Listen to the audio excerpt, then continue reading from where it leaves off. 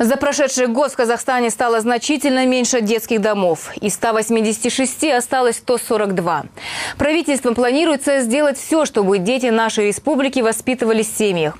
Сегодня состоялся тренинг, на котором обсудили методы создания страны без детей-сирот.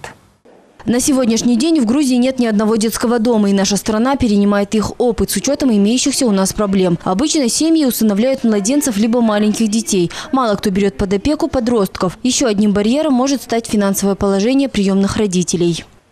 Допустим, должны быть семьи, вот как вы говорите, э, здесь их называют приемные семьи, помощь этим семья, семьям, чтобы дети жили там, какие помощь, какую помощь нужно, нужно определять государство этим семьям, чтобы дети там жили.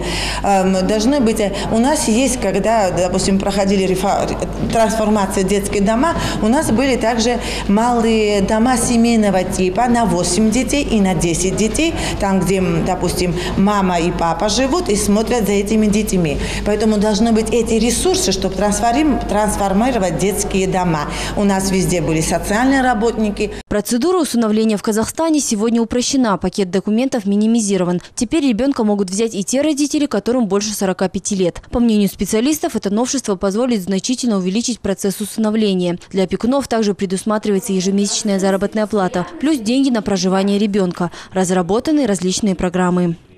Здесь у нас уже предусмотрены две новые формы устройства детей. Это приемная семья и гостевая семья.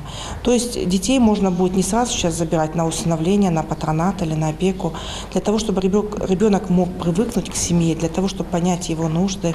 Совместимость характеров у нас вводится такой институт, институт гостевой семьи. То есть ребенка можно будет забирать в гости, на выходные, на праздники, в дни каникул. И, э, и ребенок, и семья будут адаптироваться друг к другу. То есть этим самым мы предотвращаем возврат детей. Из 186 детских домов в Казахстане осталось 142. Сегодня чуть больше 8 тысяч детей находятся на опеке государства. Постепенно планируется сделать так, чтобы все казахстанцы воспитывались в семьях. Айгерим Бухтаева, Рустам Бараев, Равиль Валеев. Пятый канал.